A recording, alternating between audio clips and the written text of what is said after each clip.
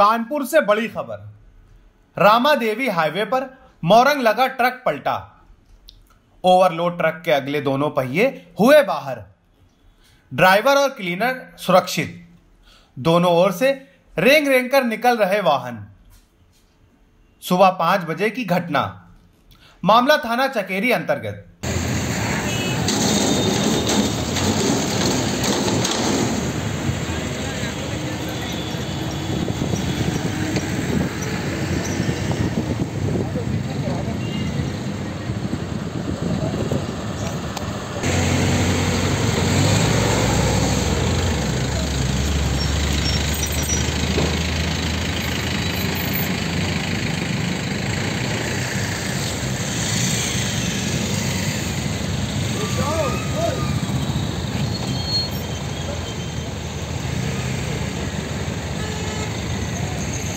Bureau report news hub Bharat.